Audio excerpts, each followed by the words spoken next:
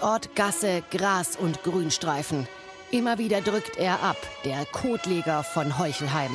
Mindestens 30 Mal in über anderthalb Jahren am helllichten Tag vor den Augen seiner Mitbürger.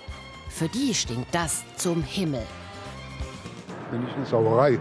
Im wahrsten Sinne des Wortes Scheiße.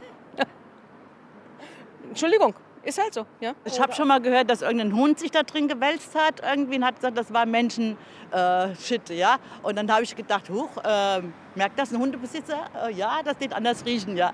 Ganz fürchterlich. okay, nee, es ist Zeit, dass das vorbei ist. Dem Tretminenterror muss ein Ende gesetzt werden.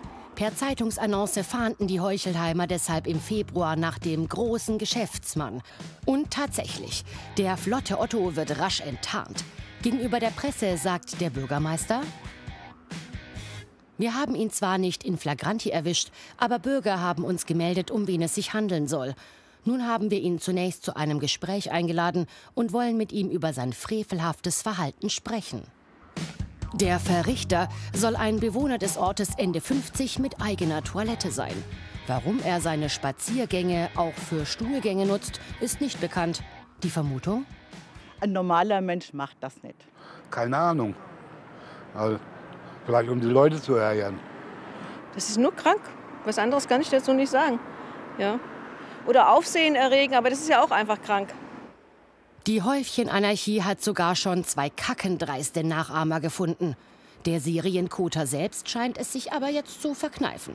Ein juristischer Shitstorm droht ihm dennoch. Eine Anzeige könnte durchaus im Raum stehen. Eine Sachbeschädigung ist es nicht, lediglich eine Erregung öffentlichen Ärgernisses. Im Zweifel soll eine DNA-Analyse harte Fakten liefern und den wahren Kotleger überführen.